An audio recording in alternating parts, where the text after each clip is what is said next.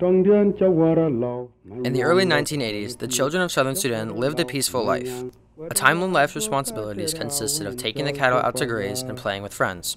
However, all that changed as conflict sparked between the predominantly northern Muslim government and the southern Christian tribes. Spanning more than 20 years, civil war brought attacks to the small villages of southern Sudan, killing 2 million people, mostly adults, and compromising the youth of over 30,000 boys, who were told by their families to run, and run they did walking over 1,000 miles through atrocious conditions, evading wild animals, and crossing unforgiving rivers, only to come to the harsh realities of refugee camps. This group of boys survived this tragic exodus and later became known as the Lost Boys of Sudan.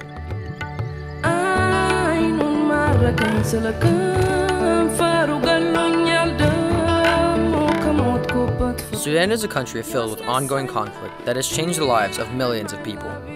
Egypt and the British took control of Sudan in 1898, governing north and south differently. However, an Egyptian revolution in 1952 set events into motion that ended British occupation in Sudan. As a result, the British agreed to Sudanese independence in 1956, and the two regions were brought together to form Sudan. A military coup in 1958 toppled the civilian government. Continuous conflict poisoned the economic development of the country. Between 1966 and 1969, the civilian led government continued to see economic deterioration.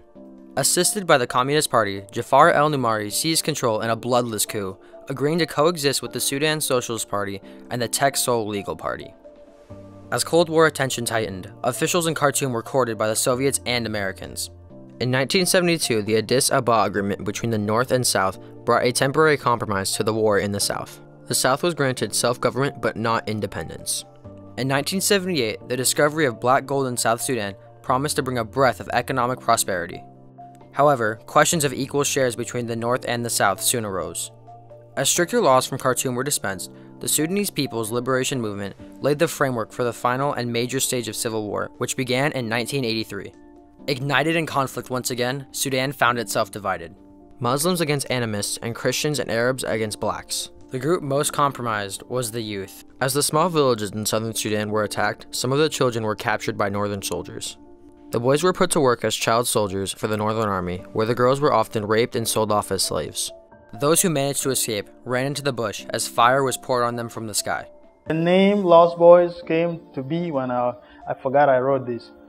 When our, when our village was attacked by a, by a fierce Arab horseman, we little boys spewed out of the blazing village like a colony of ants disturbed in the nest.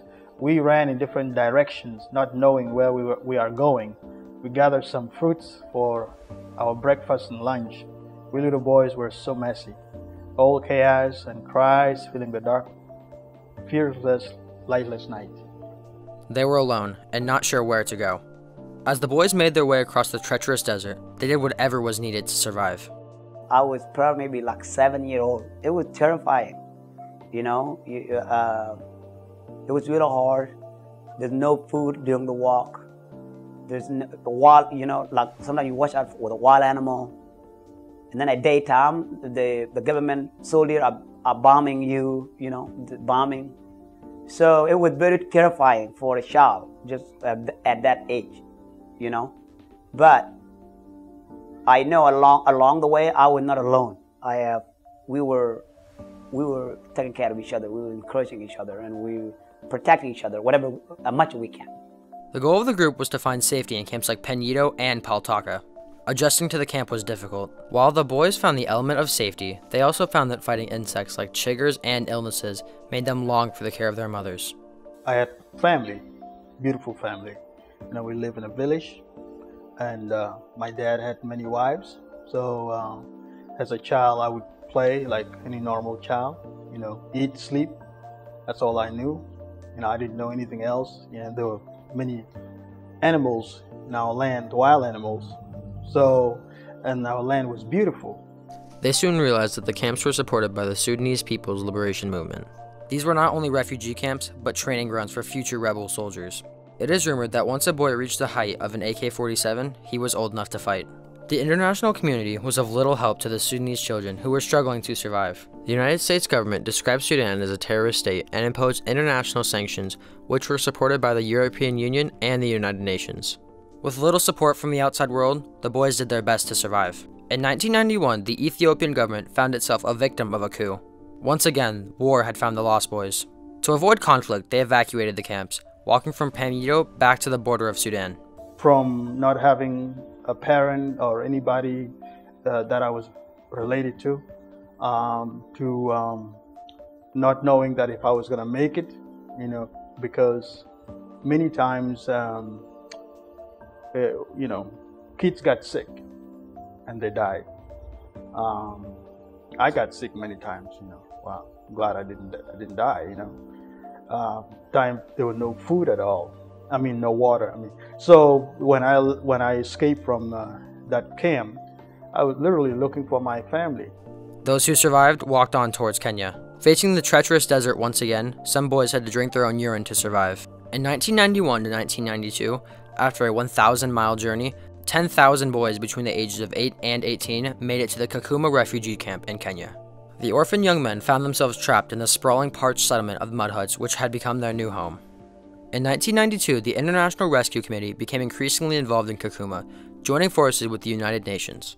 Through humanitarian aid, the boys were offered a bit of security in the form of medical care, food rations, and donated clothing. After completing the school program, the boys had little to do with their time except wait and hope. In 1998 to 1999, oil began to flow from Sudan. International trade brought compromise in the form of diplomacy. The United States offered the largest resettlement act of its kind for the boys. After lengthy INS interviews, the boys hoped to find their names on paper posted weekly on a board, which became known as the Staples of Life. Once selected for resettlement, each boy was provided basic cultural orientation to prepare them for coming to America. This New York.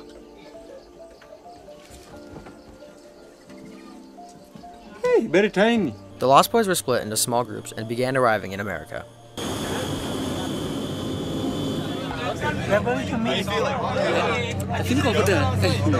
They received basic support from the International Rescue Committee, the U.S. government, and other resettlement agencies. The resettlement compromise paid for the boys' plane ticket to America, which they agreed to repay after three months of arrival. Financial aid for food and housing was given to them for their first three months in America. After, they were left to make their way in the land of opportunity. The Lost Boys were both amazed and overwhelmed, facing cultural shock. As a result, they were finding that they were not adequately prepared for the fast pace of American culture. If it had not been for the volunteers who became aware of their immense needs, the Lost Boys may have found themselves lost once again. While most of the boys dealt with immense challenges, they worked hard for a better life. However, some found that overcoming the trauma they had faced more challenging. He developed post-traumatic stress disorder (PTSD) quickly because now things are. Uh, uh, his life will become, you know, he feel like he was alone. The post-traumatic stress many of the Lost Boys faced was not adequately handled with resettlement. So he walked into the building, very much crying out for help. That I need help, but he didn't. He didn't. He didn't know how you know how to ask for it. You don't have to with violence, but that's all he knew because be, being a child soldier grew up in a tour, you know, going through what he went through. So he went and threatened the staff. Um, it was very, it was it was very, uh, very tragic for everybody because now you have a, uh, this man with a weapon in the building. So they called the police. Um, they told him to put the gun down. He shot back, uh, you know, he shot back to the police, and then they shot him and killed him in the office instantly. Over the decades, the Lost Boys have been working diligently to build new lives. Unconditionally supporting one another, many have gone on to obtain college degrees, becoming U.S. citizens, and found success in adjusting to their new American lives. However, the Sudanese resettlement program ended abruptly after September 11, 2001, with attacks on the United States. In 2005, a tenuous peace agreement between the North and South was signed. The compromise held until 2011 when southern Sudan seceded from Sudan, Faith and peace was temporarily restored until December of 2013. As a result, South Sudan is facing another humanitarian crisis. It's a man-made war, and because of the greedy, and that's why the conflict right now is causing a lot of uh, a lot of death and instability in the country. Today, the Lost Boys who fled civil war two decades ago are now men, many who serve as leaders in their American communities, educating others about the harsh realities of the ongoing conflict in Sudan, often returning to help with sustainability initiatives. Some have gone on to marry and have begun raising families here in the United States, as these once lost boys have risen up through the trampled grass of their childhood. Where they once found their homes engulfed in conflict, they continue to search for a way to help their lost country find its strength and soul again.